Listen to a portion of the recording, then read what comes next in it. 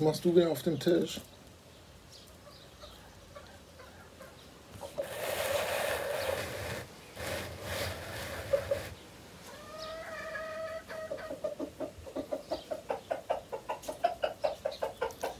Leute, ich wollte eigentlich ein Video machen. Wieso kommt ihr ausgerechnet jetzt an? Der Zoo wieder, ne? Meine, meine Follower. Ne? Wherever I go, they will follow me. Ihr Süßen. Ja. Hallo und herzlich willkommen zu dieser Bauchhilf-Sendung. Herzlich willkommen zurück auf diesem Kanal.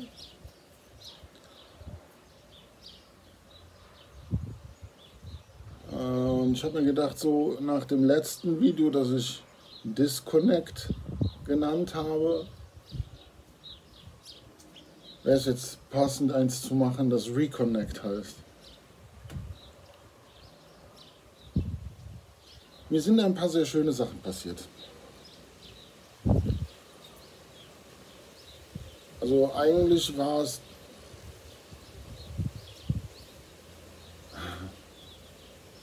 bis es schön wurde, nicht schön.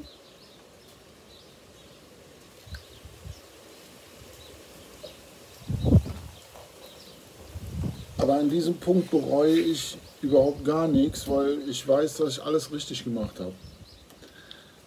Weil sonst hätte ich nicht an den Punkt kommen können,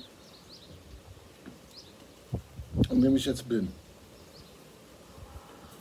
Und ich kann nach ganz langer Zeit endlich mal wieder sagen, dass ich mich frei fühle.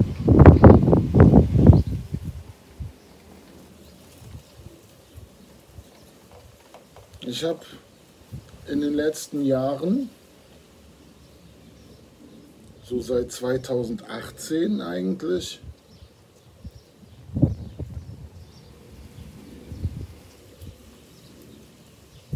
nochmal ganz deutlich mir gezeigt, warum es nicht gut ist,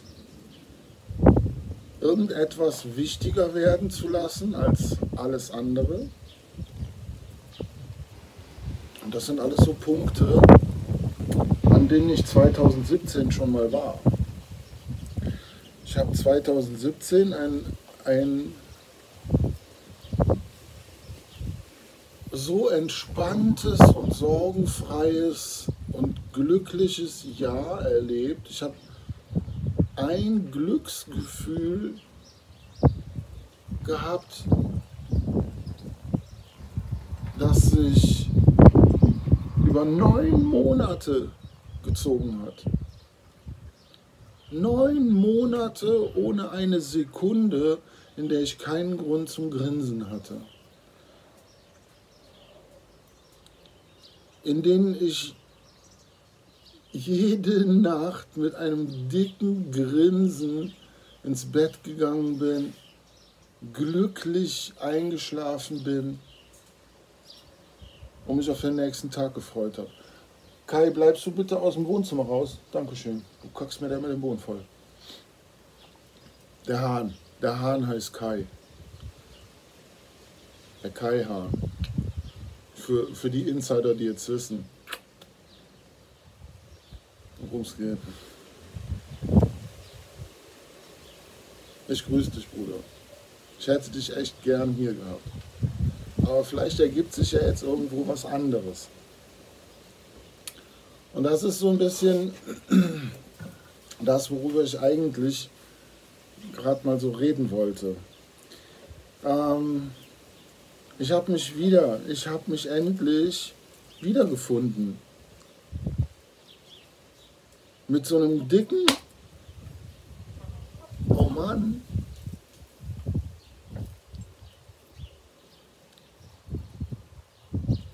wo bist du nur die ganze Zeit gewesen? Ja, kann ich aber ganz genau sagen, weil ne, ich bin nicht nur die letzten fünf Jahre halt eben durch die Selektion gegangen, sondern das zum Glück so wach und aufmerksam sagen wir mal, wie in einem luziden Traum. Ich bin durch alle möglichen Dramen gegangen, die ich mir selber geschaffen habe, dadurch, dass ich mich in Abhängigkeiten begeben habe. Was dann letztendlich hier auf dieser Finca darin gegipfelt hat, dass ich mich tatsächlich von einer einzelnen Person wieder abhängig gemacht habe. Das konnte und durfte so nicht funktionieren.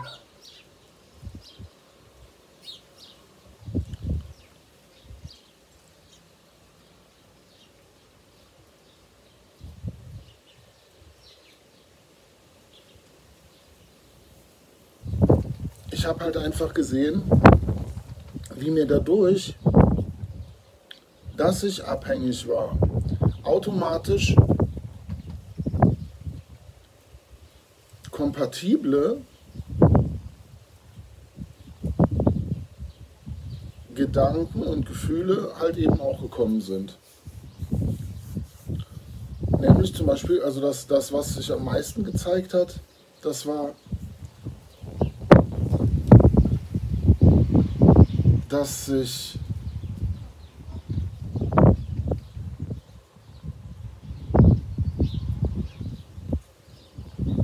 dass ständig irgendwas fehlte.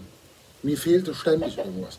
Als erstes, also das fing halt im Prinzip, fing, der, fing die ganze Chose 2018 mit der Bäckerfinke an.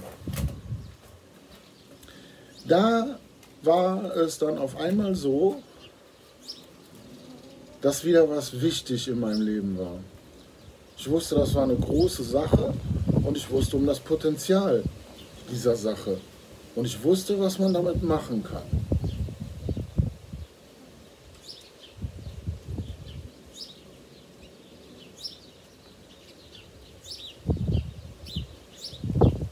Aber statt cool zu bleiben,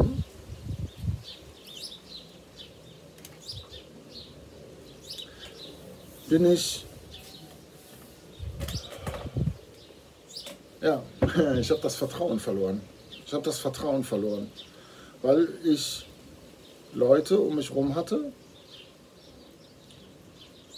die das nicht gesehen haben, die ganz andere Sachen, ganz anderes Potenzial in, in der Bäcker-Finker gesehen haben, nämlich damit berühmt zu werden oder sonst irgendwas.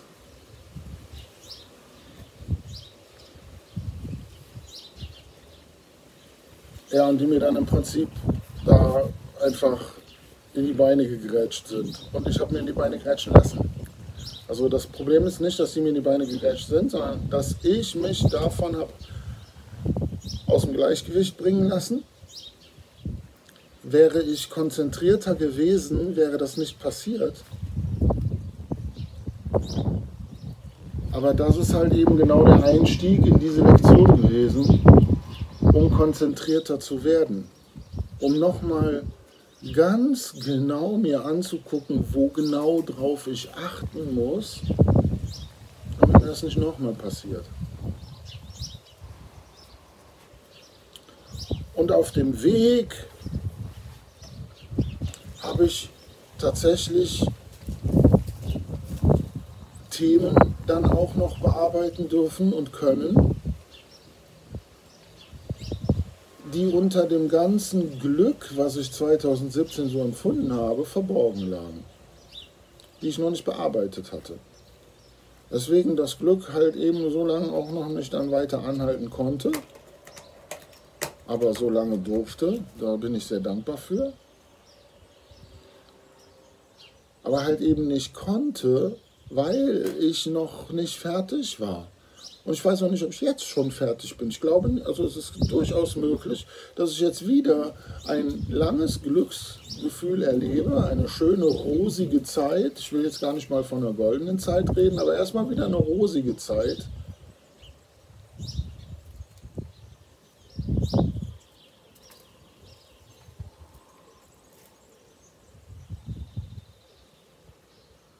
Aber ich bin irgendwie gefasster darauf, dass auch diese Welle dann irgendwann wieder brechen kann und runtergeht. So wie das halt eben dann 2017, 18 auch dann irgendwann passiert ist. So, und dann werde ich wahrscheinlich wieder für die Zeit, die ich brauche, um diese Lektion zu lernen, die nächste Lektion angehen. Und dann wird wahrscheinlich wieder viel Mö, Mö, Mö vielleicht auch nicht. Vielleicht, vielleicht schaffe ich es das nächste Mal, meine, meine wichtigen Lektionen dadurch auch einfach ein bisschen schneller und bewusster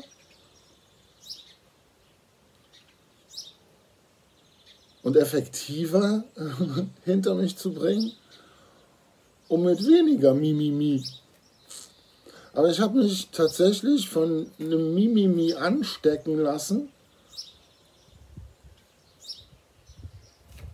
dass ich regelrecht fünf Jahre lang nicht greifen konnte, bis mir vor ein paar Abenden was passiert ist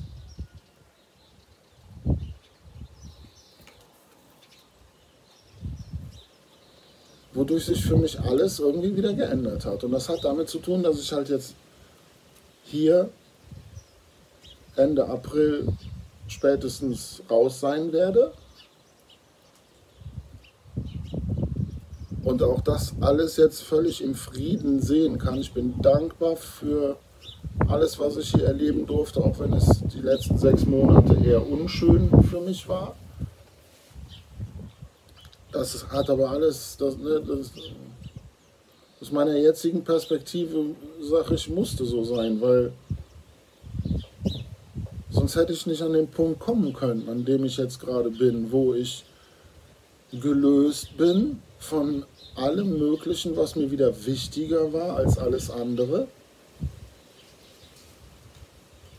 Und nachdem ich es dann vorgestern oder so geschafft habe, mich mit dem Gedanken anzufreunden, dass ich unter Umständen innerhalb der nächsten vier Wochen mich von meiner neu gewonnenen Familie wieder trennen muss.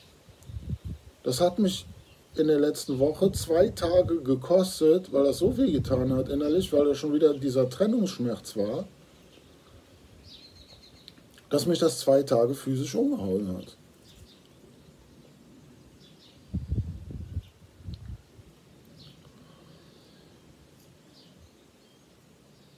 Ja, und jetzt ist das okay, weil ich zu einer Perspektive gefunden habe, die das okay für mich macht. Weil wenn wir mal ganz ehrlich sind, wenn ich jetzt hier weg muss und keine andere Finke habe, wo ich hin kann und die Katzen und meine Fische mitnehmen kann. Die Hühner sind Wildhühner, die, ne, Kai, soll hier Kai mal Kai sehen? Forsa. Das ist ein bisschen schüchtern. Geil. Also nein, eigentlich ist er überhaupt nicht schüchtern. Er ist voll der Tyrann. Der jagt hier die Katzen und die Hühner weg, wenn, äh, wenn ich da vorne Mais hinschmeiße. Und hat mich auch einmal schon angegriffen. Na, machen wir nicht mehr. Sonst gibt es kein Mais mehr. ja, halt meine Family hier, die ich jetzt, ne, das, das war halt so, auch so ein, der Tito ist tot, boah, was habe ich lange darunter gelitten, dass der Tito gestorben ist. Meine Fresse. Ich konnte neun Monate nicht über den Tito reden, ohne anzufangen zu heulen.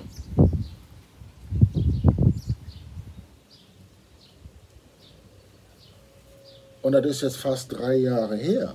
Und ich kann mich immer noch, okay, jetzt sieht das unter Umständen wieder alles völlig anders aus. Das sehe ich, muss jetzt alles nochmal völlig neu anfangen zu. So, wie, sie, wie ist das denn jetzt? Wie ist das denn jetzt? Haben wir gar nicht alles angucken können. Aber bis jetzt war es halt so, dass ich mich auf den neuen Hund noch überhaupt gar nicht einlassen konnte, weil ich Angst davor hatte, dass der dann auch wieder irgendwann weg ist und ich denselben Schmerz dann wieder erleben muss. Aber das Problem ist, wenn man Angst vor so, vor, davor hat, wird man nie was erleben können. Wie will man denn was Schönes erleben können, wenn man Angst davor hat, dass es irgendwann vorbei ist? Man muss akzeptieren, dass es irgendwann vorbei ist. So wie das jetzt hier irgendwann vorbei ist. Und die Hühnis, jeder kann ich hier lassen.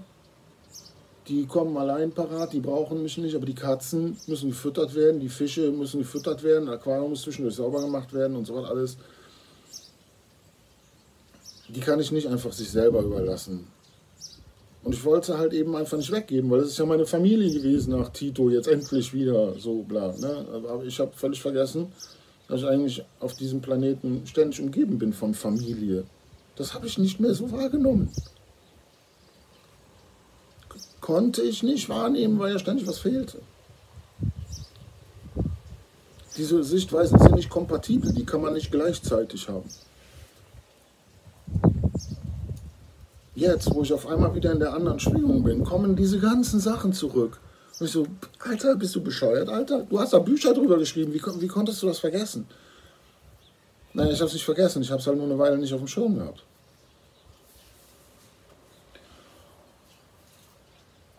Und das ist halt eben auch so was, was ich auch nicht auf dem Schirm hatte, war, ne, ich habe in 2020 geschrieben, dass wir uns nur deswegen eigentlich nicht als perfekte Wesen sehen, weil wir das eben nicht tun, sondern ständig uns als mangelhaft und imperfekt sehen. Und mit perfekt meine ich dabei nicht mit perfekt geschliffen, aber mit perfektem Potenzial. Und 2016, 2017, Anfang 2018 habe ich mich darin geübt das so zu sehen, mich als perfektes Potenzial wahrzunehmen. Äh, und ich fand mich cool. Ich habe mich geliebt. Ich war gut zu mir. Ich habe mir vertraut. Und das ist mir alles flöten gegangen. Dadurch, dass ich mich, dass ich diesen Strategiewechsel gemacht habe, mich von anderen Menschen wieder abhängig gemacht habe und etwas, irgendwas wieder für wichtiger gehalten habe als alles andere, das ist nicht Flowtology, das ist nicht im Flow sein. Hm? Ich rede jetzt auch wieder hier mit mir, hier, ne, du, da, Bauchi, der, der, der, der Zukunftsbauchi. Vergiss es bitte nicht wieder. Das wäre echt nett, wäre wirklich cool, weil ich dir sonst all die Arschtritte verpassen muss und in zehnfacher Geschwindigkeit, die du dir jetzt in den letzten Tagen und Wochen von deinen Freunden geholt hast, die es absolut gut mit dir gemeint haben. Und was hast du da noch wieder Mimimi gemacht? Brauchen wir nicht mehr, ne?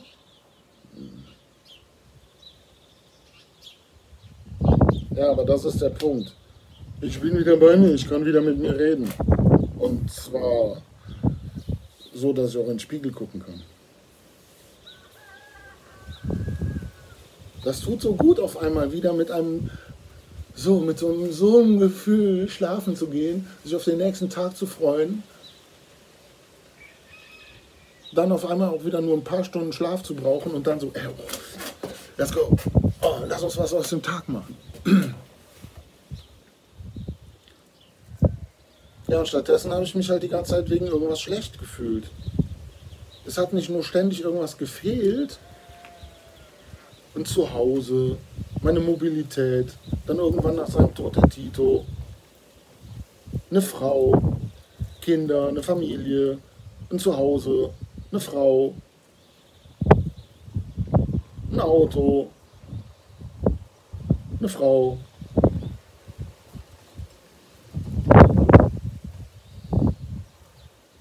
Ein Job. Nee, das war eigentlich, das ging. Also was das angeht, habe ich eigentlich in der letzten Zeit nicht wirklich. Also ich hatte eigentlich immer ausreichend Geld, um weiterzukommen. Nicht mehr, aber mehr braucht schon nicht.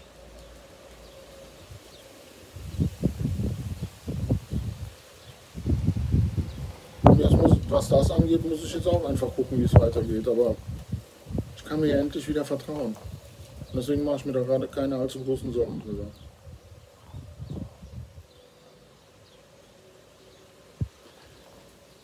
Vor zwei Abenden wollte ich ein Video anmachen. Ich glaube, ich habe das sogar angemacht, aber das ist keine zehn Sekunden gelaufen, als mein Bauch sagte, was denn? Soll ich was sagen? Gibst du mir ein paar Minuten noch, dann kriegst du Neues. Ja? gleich zu, auf dich zurück.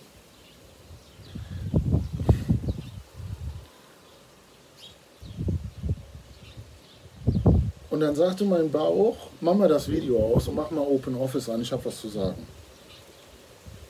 Und das, das war was, das, das hatte sich irgendwie einfach so ein paar Stunden vorher schon, schon angebahnt. Ich habe ein paar Stunden vorher eine ganz bestimmte Entscheidung getroffen.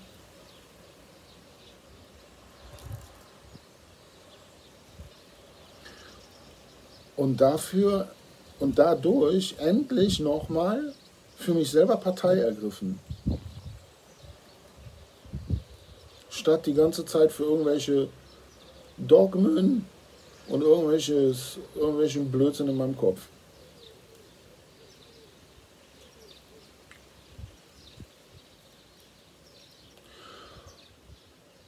Und dann habe ich Open Office aufgemacht.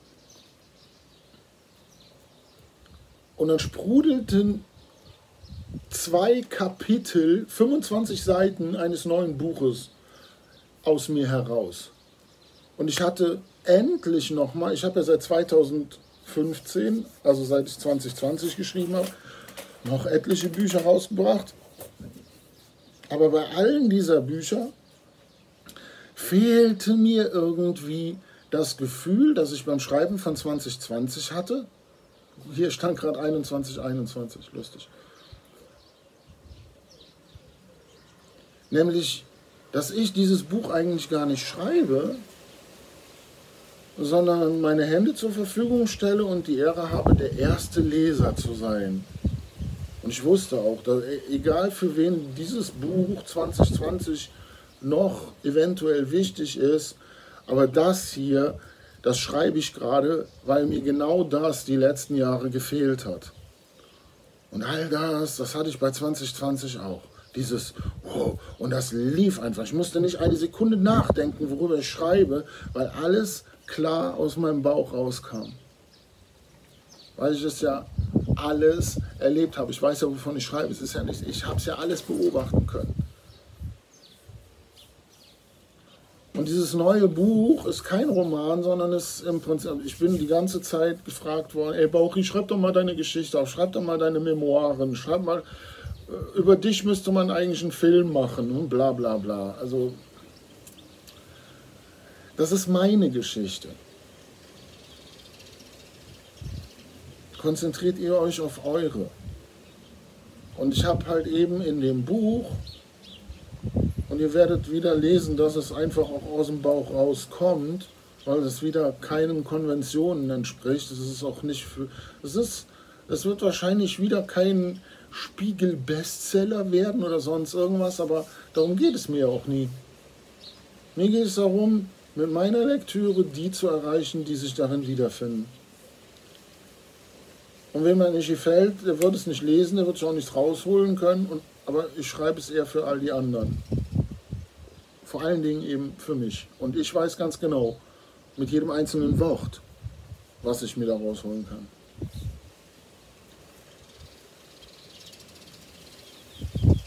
Ja, und dieses Buch werde ich jetzt einfach mal so weiterschreiben. Aber heute Jetzt gleich, wenn ich dieses Video ausmache, werde ich was anfangen, wovon ich schon seit drei Monaten sage, dass ich das gerne machen würde. Und die ganze Zeit ist irgendetwas anderes wichtiger. Und ich komme nicht dazu. Ich habe seit drei Monaten Subnautica Below Zero auf meinem Spielrechner und rede seit drei Monaten davon, dass ich mir dafür demnächst gerne mal ein Wochenende Zeit nehmen möchte und da reinzutauchen. Dive into it. Weil das ist Subnautica. Wer es nicht kennt, tippt mal bei YouTube Subnautica ein, dann wisst ihr Bescheid. Das ist unter Wasser. Und jetzt hat mich die Katie auch noch gebeten, ob ich ihr nicht ein Bild schicken kann. Also eins von meinen Bildern, was ein bisschen mehr aquaristisch ist. Und weil ich da jetzt nicht wirklich eins habe, was ich schon gemalt habe, was dem entspricht, was mir dabei so durch den Kopf geht, habe ich das einfach als Auftrag angenommen und werde der Katie nächste Woche ein aquaristisches Bild malen. Und die beste Vorbereitung, die ich für diese Arbeit haben kann, ist vorher mal ein Wochenende in Subnautica Below Zero zu verbringen. Und mir damit selber mal den Gefallen zu tun, mir gerade die Freiheit zu nehmen, das zu tun, was ich offensichtlich seit drei Monaten total gerne machen möchte, und mir die Freiheit aber nicht nehme, weil ständig irgendwas anderes wichtiger ist.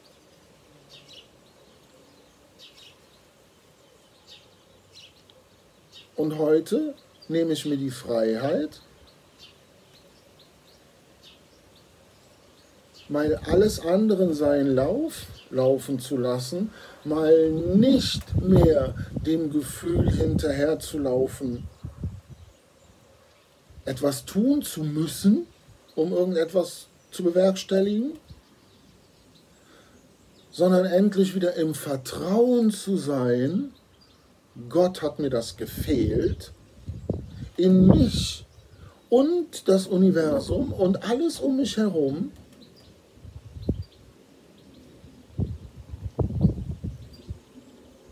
dass ich mir keine Sorgen machen brauche. Und das jetzt mal auch ein Wochenende auch einfach nicht. Nein, ich werde nicht. Nein. Es wird, dieses Wochenende wird ein gutes Tai Chi-Training sein. Dieses Spielen ist für mich in dem Moment, ich spiele anders als die meisten anderen. Haben, haben, wissen die, die meine Bücher kennen, wissen das. Ne? Für mich ist das Spielen auf dem Computer reines Training für dieses Spiel. Da kann ich Sachen machen, die ich hier gerade nicht kann. Ich kann hier jetzt gerade nicht ein Wochenende lang tauchen gehen und mich unter Wasser bewegen, um ein ganz bestimmtes Bild malen zu können, das ich der Katie so gerne malen möchte. Einfach weil ich die Katie so lieb habe und die das verdient hat. Wenn die schon ein Bild von mir haben will, mit einem speziellen Wunsch auch eins zu bekommen, dass das auch wert ist. So, und ne, gerade Katie und Eigi sind zwei, wenn ich die nicht hätte, wäre ich nicht hier gerade.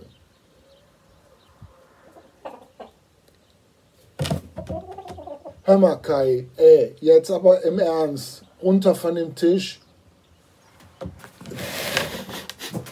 Ich glaube, es hackt. Was sind das denn jetzt für Manieren? Hoppa. Ja, Kai meint, Video ist lang genug jetzt. Ich äh, muss mal Mais werfen gehen. Ich komme ja. Ja.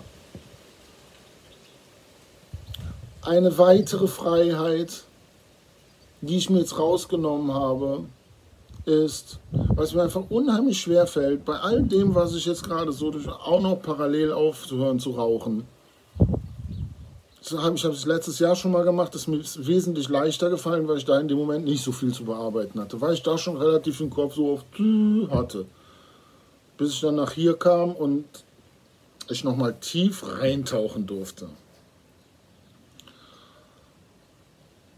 So, und da habe ich mir auch gestern gesagt, vorgestern gesagt, das war diese Entscheidung, die ich gesagt habe, wo ich, wo ich jetzt gesagt habe, äh, Alter, jetzt, dann lass es doch jetzt. Dann du rauchst jetzt seit 20 Jahren, dann kommt es jetzt auf einen Monat oder so auch nicht an, aber das, dann rauch halt jetzt, wenn dir dann der Rest leichter fällt, dich darauf zu konzentrieren und mal eins nach dem anderen. Und nicht alles auf einmal.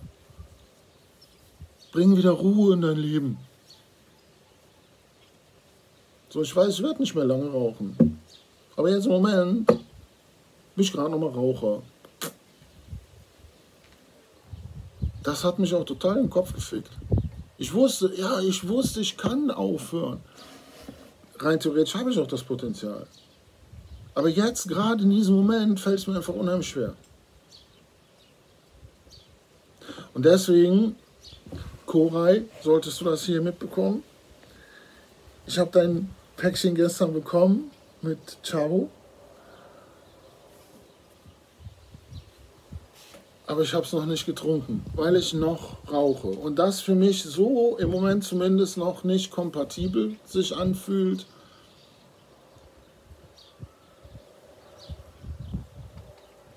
Trotzdem Avatara, wenn du das sehen solltest. Ich ernähre mich weiter gesund. Den ganzen anderen Rest, den ich von dir und Tim gelernt habe und Yusha, setze ich weiter um. Boah, ich habe mir gestern so eine fucking geile Soße gemacht. Also mittlerweile habe ich es raus. Mittlerweile habe ich. Yeah. So. Oh, bin ich froh, dass ich bei euch schon mal ganz neu kochen gelernt habe. Und auch die ganzen anderen Sachen, die ich von euch gelernt habe, die kann ich gerade mit Links umsetzen. Im Moment sein, mit mir selbst im Frieden sein, dankbar atmen und das Hier und Jetzt genießen.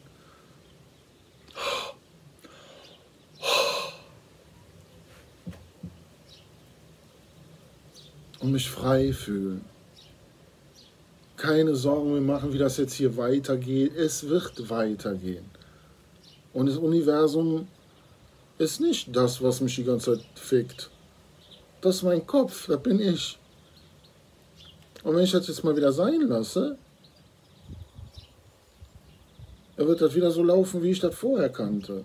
Nur, glaube ich, diesmal auf einem völlig anderen Level mit noch viel mehr Bewusstheit, als ich damals hatte.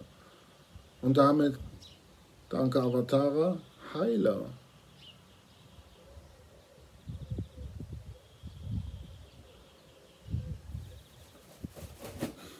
Das fühlt sich so gut an.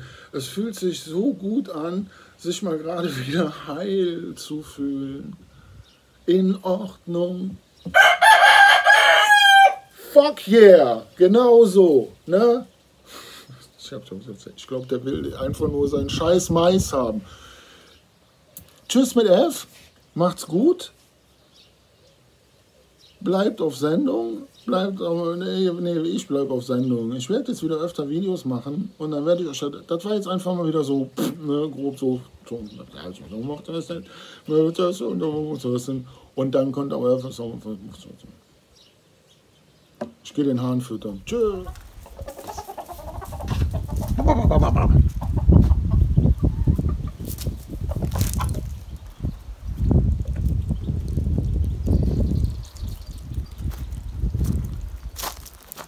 Besser jetzt?